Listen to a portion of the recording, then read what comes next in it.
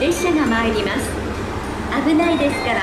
黄色い線点字ブロックまでお下がりください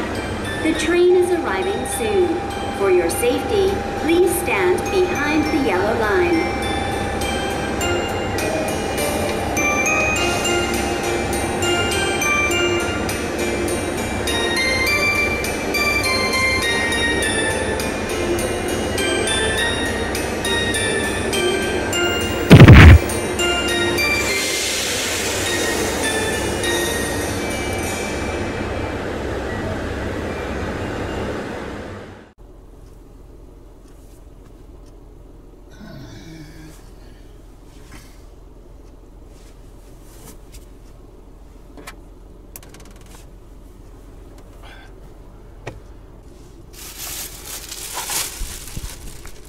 別に5時に起きる必要があるのかどうかね、ちょっとね、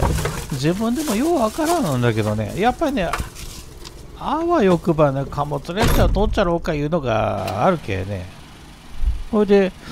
まあ、あの、そのオホーツクに級の舞台がね、やっぱりね、函館の町いうのもあるけね。まあ、一応ね、起きるのは起きるんだけども、あとりあえず、まあね、函館に貨物列車が来ることはないいうのはね、まあ知っとってけね、まあ、ちょっとのんびりはしようかなと思いながらも言うても5時過ぎじゃけね、まあ、ここまで朝早起きる必要があったかどうかあれだよね、今思えば、ちょっとね、微妙なところはあるんだけどもね、まあ、とりあえず早起きて、あの、まあ、今日はね、あの目的地がね、札幌があって、札幌、札幌なんだけどもね、その途中でやっぱりね、あの貨物列車が取れるようなスポットがないかね、思いながら、まあ、あの新函館北斗もね、ちょっとロケせには行けのもあってからね、その途中、途中で、まあ、どっかでね、あの貨物列車が取れ取れるかなみたいな下心がちょっとあってね。まあね、まあどっちにしてもね、わしらみたいな年寄りはね、朝早いけね、ほんまに。夜寝るも早い、夜寝るも早いけども、朝起きるのも早いしね。あこれがね、函館駅ね、函館駅はちょっと初めて来るんだけどもね、あの3年前のね、あの北海道のツアーの時には、まあ、ここここには来んかったけね、うん。まあ、ちょっと楽しみではあってね。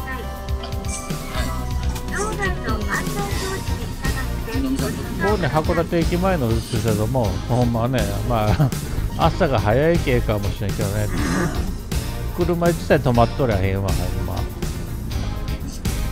まあ日中がねどれぐらいにぎわっとるんか駅かもしらんけどね。あしたらもう心もちょちょこちゃかちゃかともうカメラ回したらもうすぐ移動したけね。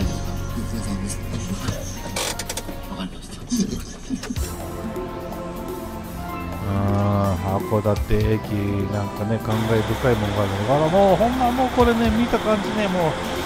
北海道らしいないうデザインよねこれねほんまね。函館ライナーね一人もお客さんおらへんけんねこれ北というやつでこれ北というね特急列車ね。まあほんまこれね採算取れんこのトンかね、いや、まあ、取れてないんだけど、片方にはっきり言ってね。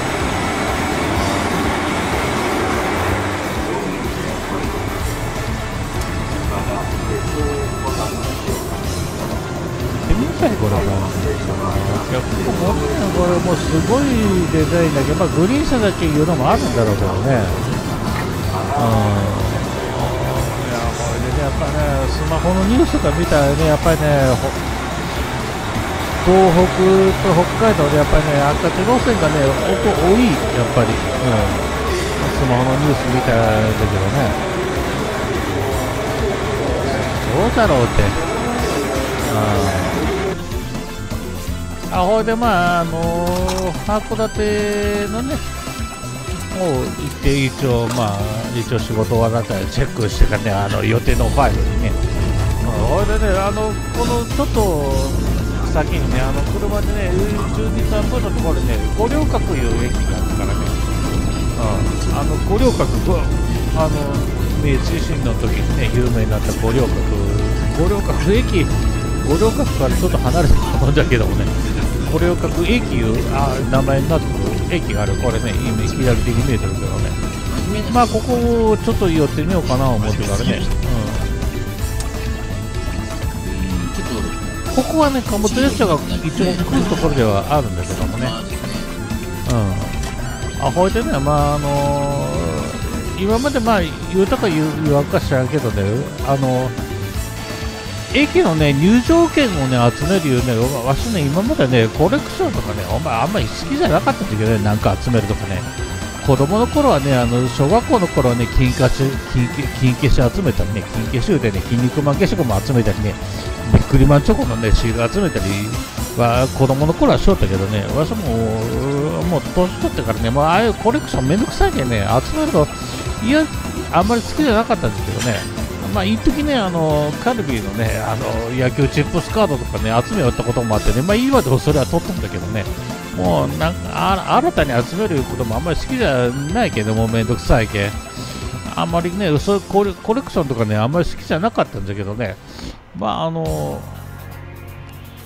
えーと、今回ね、まああの、どう言ったらいいかな、自分でも言う心境の変化ようわからんんだけどね、あの、入場券、駅の入場券のね、あのちょっと集めようかな思ってね、あの駅の入場券ね、全部の駅の、えーと、JR の駅のね、入場券発売する駅がね、ななんぼ言うたかね、4000何駅言うてよとかね、あれね、全部入場券集めたようなね、あのそのグッズをね、売り出すということでね、それが80万ぐらい で売り出しとるよね。うん、とてもじゃないけど、80万なんかでよう出せんけど。それでまあ、自分でね、入場券集めるのも、まあ、すぐにやってみようかな思ってからね、あのやり始めたんだけどね、とてもじゃないけどね、全部はよう集められんわ、素人じゃ、あ個人ではね。うん、まあ、そんな話はどうでもいいんだけどね、これ、五稜郭の駅の方でね、あの、まあ、貨物列車来るのは分かったんですこの、この運転手さんね、もうね、連結すごいうまいよ、これ、ほんま。うん。もう、これ、ほんま、もうすごいわ。これも感動したちょっとこの連結シーンね。あのねあの今までね連結シーンねサンライズサンライズ出雲サンライズ瀬戸のねあの企画見てもらったら分かるけどもねあのサンライズ出雲とサンライズ瀬戸のねあの連結シーンとかあるけど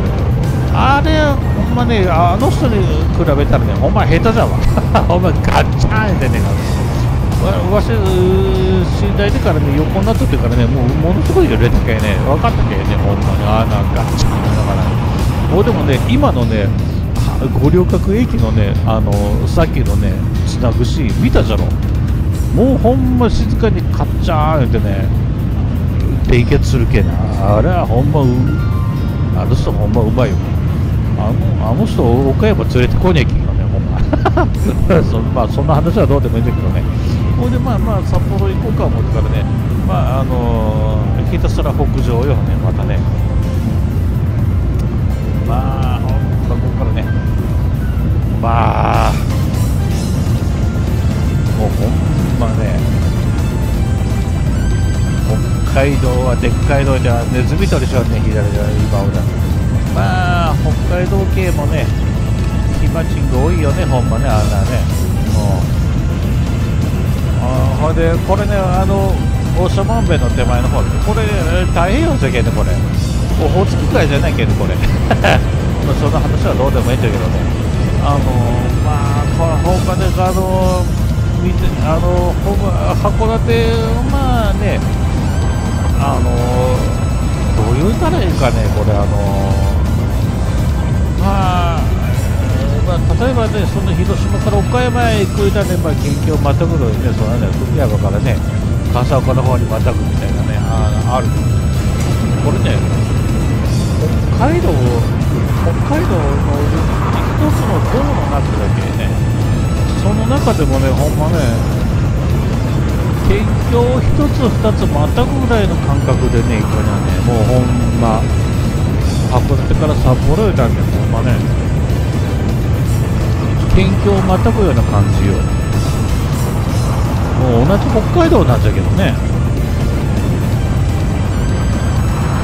まあ いや別にええんだけどね。だからね北海道のね大きさいうかね。まあまあ分かるっちゃ分かる。けどね。ほいでねまあなんかねもう北海道渡ったんだけどね全部ね天気はねあんまりえっとええことないんだけどね。いやーね北海道渡ったねもうとにかくね涼しい。いやもうね、それはね、今、まだね、7月のね、何日かやね、今日、7月の6日間なのか、6日間、7日か、よう忘れたけどね、あのー、まあ、今からね、暑くなるかもしれんけどね、もうね、めちゃくちゃ涼しい、ほんまに、うん、湿気もないしね、ほいで、この長万部の駅がね、まあ、ここまで田舎とは思わんかったけど、もうちょいとね、あの、にぎわったのか思ってたけどね、ああ、まあ、長万部の駅でね、入場券ゲットしてね、ほんで、まあ、あの、もうちょっとね、ここからが札幌向かうんだけどね、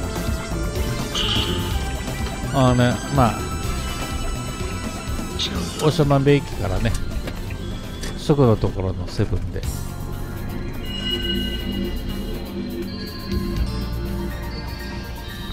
ここで腹ごしらえをしてから出ます。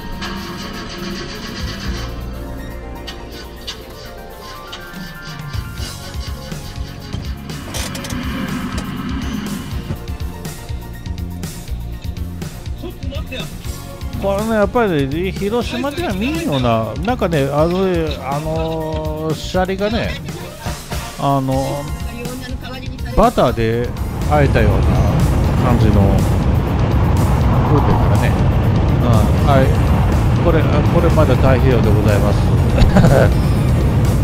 あの、まあ、ひたすらね、あの、まあ、ここから、あの、ちょっとね、山の中入ってね、あの、定山渓を経由してね、札幌行くんだけど。も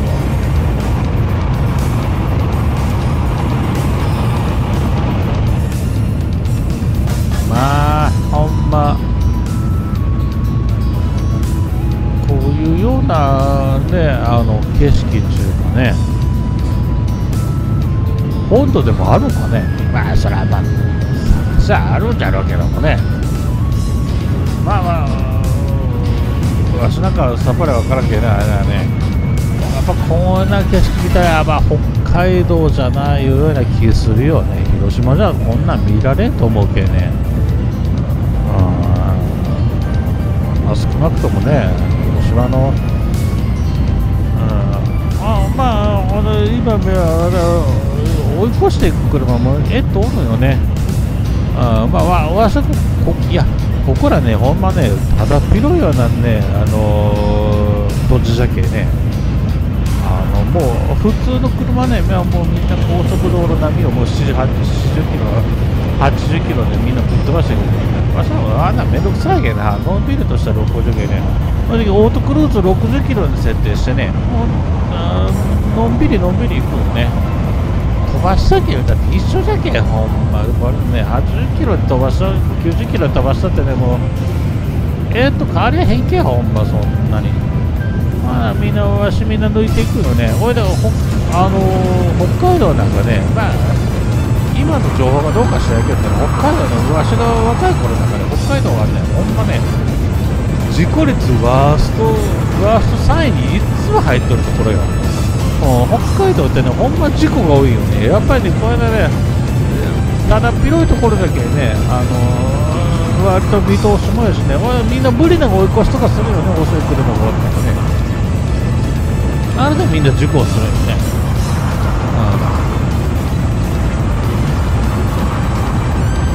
まあ、今やね、それはね、今がどうか知らんけどね、興味もないしね、そうあれね。もうほんま数年前まではね、もう北海道行ったらね、もう事故がものすごい多いところやったよ。うん、もういい、ノベツワースト3に入ってるようなね。まあみんな無理な追い越ししてから行けね。うん、まあね、北海道ね、もう、遠くから一応予定しとんだけどね、ほんま広島の人間からしたらね、ほんまね、この定山渓行くのもね、博多から定山渓定山渓行くのでもね、もうほんま、県境一つ二つまたぐぐらいの感感覚でね、うん、まあ、ほんま北海道はでっかい道言うてね、なんか言うたけどね、昔ね、ほんま北海道でかいわ。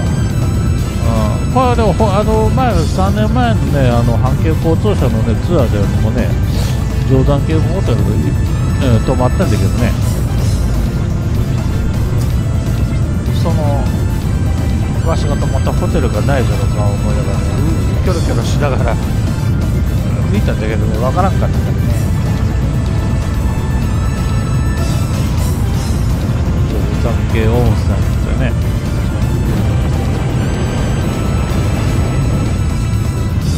この近くにねわしが泊まったことがあるホテルがあるはずなんですよね。うんちょっと土地勘がないわしにはちょっとわからんかった。ああ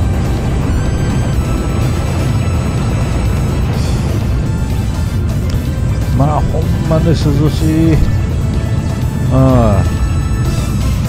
さすがさすがさすが北海道じゃわいう感じだね。あああれだけねあのー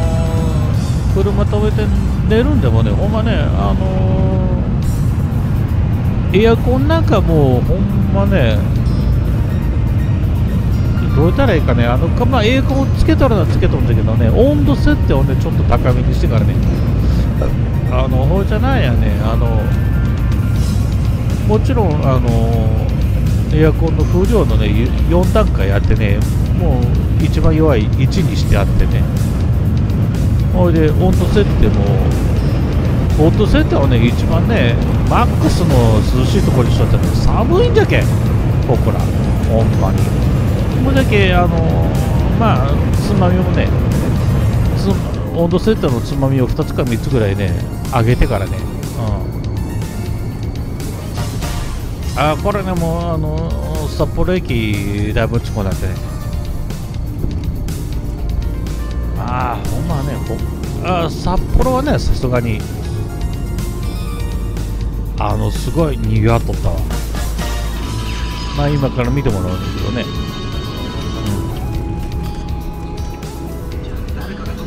うん。まあ言うてもねほんまね北海道言うたらね札幌だけよ。ここがにぎわっとるのね。他はもう田舎じゃわ。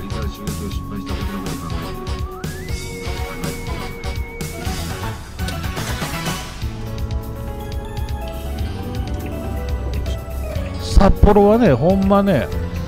あの、東京並み、ほんまに東京並み、あの、車の量とかもね、あの、で、札幌駅のね、あのー、電車の発着数いうか、もう割とひっきりなしに来る。まあ、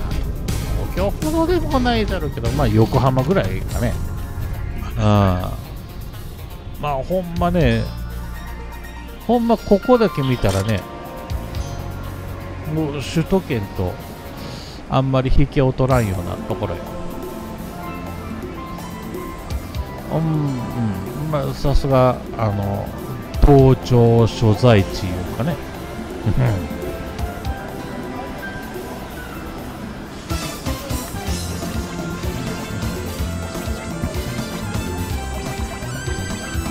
まあこんな感じでね。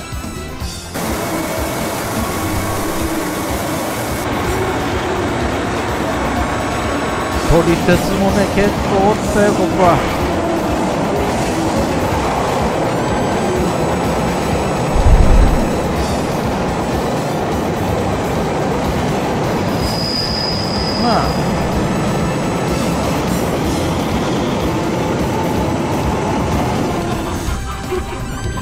まあ、あのさっきのね、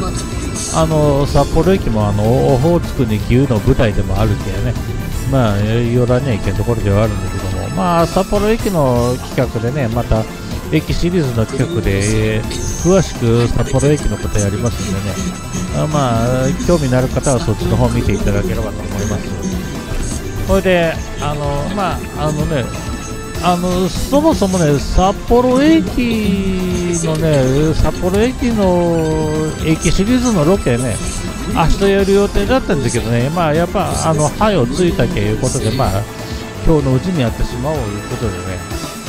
今日、今日やってしまえば明日の、明日が楽だけど、これでね、札幌駅からね、シャープのところにね、このね、あの、安い、これね、あのスーパー銭湯じゃなくて普通の銭湯的にやっぱり450円で安いところだよね。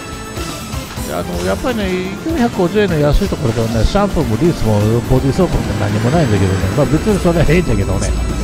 ほいで、えー、っとね、手稲、手稲がね、あのまたオホーツクに牛の舞台でもあるけどね、これがね、札幌からね、12、3分のところでそんなに離れてないんだけどね、まあこうやってね、あのーえーと、これなんだ？根室本線？根室本線じゃないな。これはなんだ？えとなんとか本線？いうところ。あの電車見ながらね、うん、これでこうセブンイレブンでね。今日はここでね、2年、どっかでもう、どっかでやめたらええやん。写真1枚撮ってからね、行かなきゃいけない。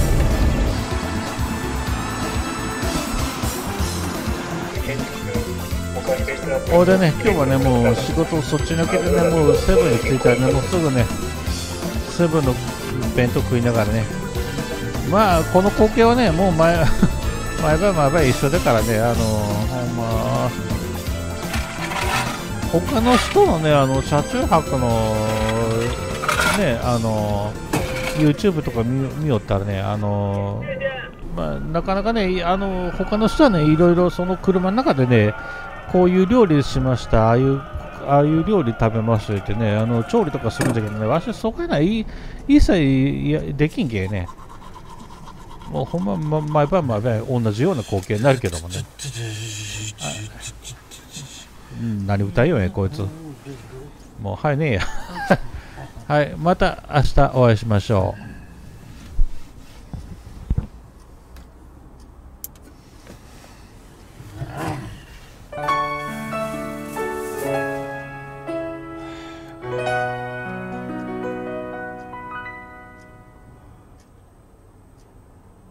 乗車ありがとうございました。